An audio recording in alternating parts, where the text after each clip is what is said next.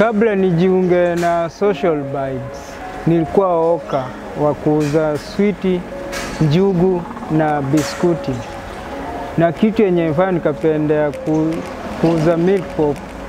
Uniform yake nzuri, milk pop ni tamu, inavutia, inapendwa na wakubwa na wadogo, yaani ni tamu tamu tamu tamu. Ah!